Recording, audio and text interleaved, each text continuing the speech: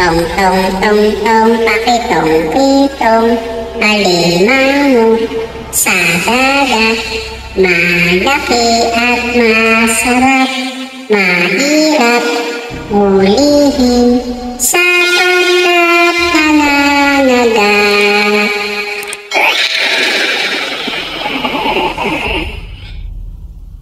Hoy ikaw, sang matigas lo, anh Andyan ka na naman. Nakatuto ka na naman sa iyong cellphone. Ayaw mo na namang tantanan ng pag-YouTube, Facebook, Mobile Legends at TikTok. Ginagalit mo talaga ako. At ito pa, nakita kita. Hindi ka kumakain ng gulay.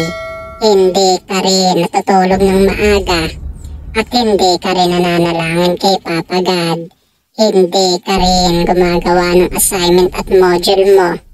At ayaw mo rin daw pumasok sa face-to-face classes mo.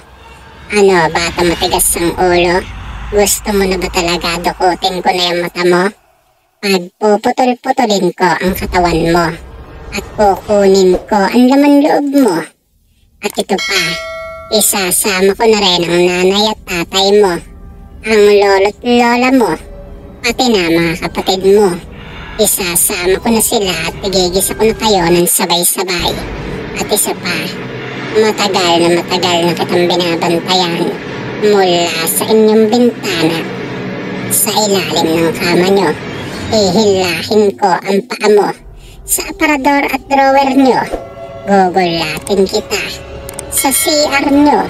Sa madilim niyong pintuan at nakasilip din ako sa kisame nyo kaya ikaw bata, bawas, bawasan mo na yung pagsiselfon mo. Tigil, tigilan mo na yung pagsiselfon mo. Dahil kung hindi, talagang kakainin kita. Galit na galit ako sa mga batang tamad magsulat, magbasa at magbilang. Hindi nagliligpit ng laruan. Hindi tumutulong sa gawaing bahay. Yung mga batang ganyan, yan ang paborito kong kainin malinamnam ang kanilang karne at gustong gusto ko sa bawa ng kanilang buto-buto. Malasang malasa rin i-adobo ang kanilang laman loob. Kaya ikaw bata, maging mabait ka na. Dahil kung hindi ka magiging mabait, talagang dadalawin kita sa panaginip mo. Maiihi ka sa banig at kama nyo kapag nakita mo ako. Kaya sige lang magpasaway ka para makakain na naman ako ng batang pasaway. Huling pagkain ko ay nakaraang taon pa. Hindi pa ako muli nakaka